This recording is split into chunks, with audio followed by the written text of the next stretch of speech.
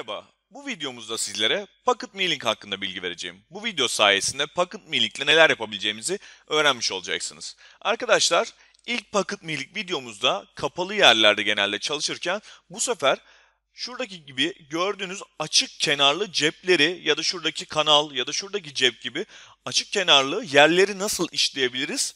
Bu videomuzda da bunu görmüş olacağız. Öncelikle buradan geliyorum. New diyorum.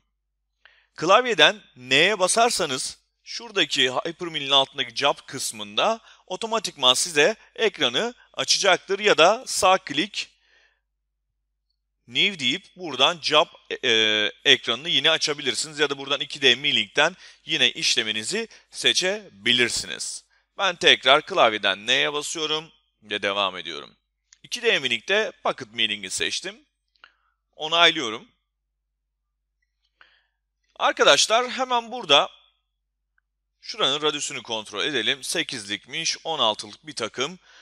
Ee, biraz daha büyük, hadi 20'lik olsun. New diyorum. Önce takımımı oluşturacağım. Takım çapına tıklarsak, bu düz bir takım bu arada, endmill bir takım. Buradan çapımı girdim. Teknoloji kısmında da devir ilerleme kısmını yazabilirsiniz. Bunlar hakkındaki e, parametre videolarında yine izleyebilirsiniz. Toolpad Parameters videosundan da takip edebilirsiniz. OK diyorum. Takım tipini de arkadaşlar tabi buradan endmill olarak önceden seçmiştim. Kontür kısmına geldim. Burada kontür kısmında new diyorum. Klavyeden C'ye basıyorum. Bakın tabanı hemen yakaladı. Onayladım. OK diyorum. Derinlik belirteceğim. New diyorum. Ee, başlangıç noktası diyorum. Üst noktayı seçiyorum. Bottom diyorum. Alt noktamı yine seçiyorum arkadaşlar. Bakın 15 mm bir derinliğimiz olan bir yermiş. Ee, bundan sonra arkadaşlar püf noktamız şurası Open Areas. Buraya tıklayıp buradan Add to Curves diyorsunuz ve gelip açık olan kenarınızı seçiyorsunuz. Onaylıyorsunuz. Tekrar OK deyip onaylıyorsunuz ve strateji kısmından buradan gelip 2D bir işlem, 3D bir işlem. Bu yüzeylere bakarken bu arkadaş yüzeyleri görmeyecektir. Çünkü direkt curve üzerinden çalışacaktır. Stock mod derseniz komple etrafının açık olması lazım arkadaşlar. Burası için uygun değil.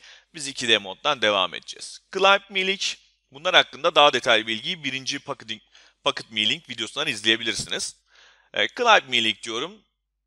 Parametres'ta da Z'de kaç kaç gireceğini vertical step down'dan %60 yanalda da takımı %60 ile çalış diyorum. Bunda e, bu kısımdan step power e, factor of diameter kısmından ya da horizontal step power'ı miktar olarak da verebilirsiniz. E, stock'ta bırakacağım allowance kısmından duvarda ve yanal e, duvardan so tabanda da bırakacağım stoğu belirttikten sonra güvenlikli kalkışımı retract mod kısmından clearance plane yapıyorum. 50 milimetreye kalkacak güvenlikte ara geçişleri 5-5 yap diyorum. Diyorum ki burada da filet radius sen gel takımın şurayı onda 1'e çekersiniz arkadaşlar. Takım çapının %10'u kadar çarpı yapmışız orada. 10.1 yazdığınızda otomatikman e, takımın %10'u kadar bakın 2 mm şeklinde geçişler esnasında vuruntu yapmaması için 2 mm radius kıracak.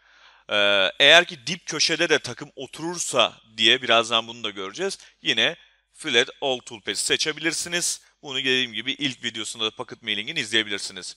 Macros'ta arkadaşlar giriş circular klasik olarak biz kullandığımız Helical'la da ilk girişi yaptırıyoruz. Zaten burada dışarı çıkacağı için takım yolu herhangi bir sıkıntı olmayacak. Boştan girecek.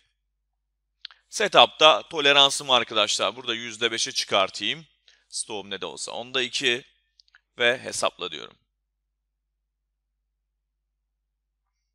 Evet arkadaşlar bakalım görmüş olduğunuz gibi takım yolu dışarıdan geliyor. Arkadaşlar burada takım çapı kurtar için tek tur şeklinde dolaştı. Burada keskin köşeli hareketler var değil mi? Bakın bunu kopyalıyorum. Şuradan geliyorum. Kontür parameters kısmından filet all toolpath derseniz bu sefer en son takım yolu yani tam o yüzey üzerinde dolaşan takım yolunu radius hale getirecek.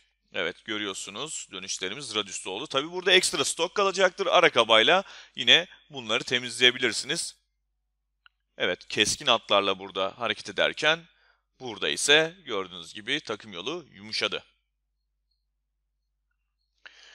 Arkadaşlar eğer isterseniz burayı yaparken aynı zamanda burayı da e, yapabiliriz. Bunu da görmüş olalım. Programın içine geldim. Bakın çoklu kontürlü kontür seçip ve bunların z seviyelerini ayrı ayrı da ayarlayabiliriz. Hemen onu da kısaca görelim. Yeni ben kör seçeyim. Klavyeden C'ye basıyorum. Bu ne anlama geliyor? Seçim seçeneklerini, kontürlerini aç. Tabana tıklıyorum. Sonra geliyorum. Bir de burayı seçeceğim arkadaşlar. C'ye bastım. Gene tabana aldım. Bakın bunlar ikisi farklı kontür. İkisini ayrı ayrı aldı. Şimdi buranın derinliği ile buranın derinliği farklı ise deneyip göreceğiz. Farklı derinliklerde program ne yapıyor? Geldim seçtim. İlk kontürüm burasıymış. Başlangıç, bitişi buradan noktasal hareketlerle seçtim. İkinciye geldim. Diyorum ki başlangıç ve bitiş. Evet arkadaşlar burada eşit miktarda olduğu için bu şekilde görüyoruz.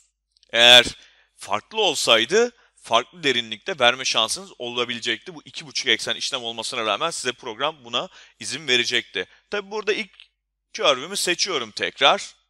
Ve bunun open area diyerek açık kenarı burası diyorum. Onaylıyorum. İkinci curve'üme gelip open areas diyorum tekrar. Add true curve. Parçama yaklaşıp bir kenarım bu da ikinci kenarım diyorum açık olan. Git buna göre hareket et diyorum. Sonucu beraber görelim. İlk yarı bitirdi. Eğer ikinci yarı takım tabi sığarsa yapacaktır. Peki burayı ölçelim hemen takım değişikliğimizi yapalım. Gerekiyorsa. Şuradan şuraya arkadaşlar. Zaten 20 mm e, stok miktarımız da vardı. Biz bunu 16'la güncellersek edit diyorum takımı. Gördüğünüz gibi takım sığmadığı için girmedi. 16 yaptık. Tekrar hesaplattık. Evet diyoruz.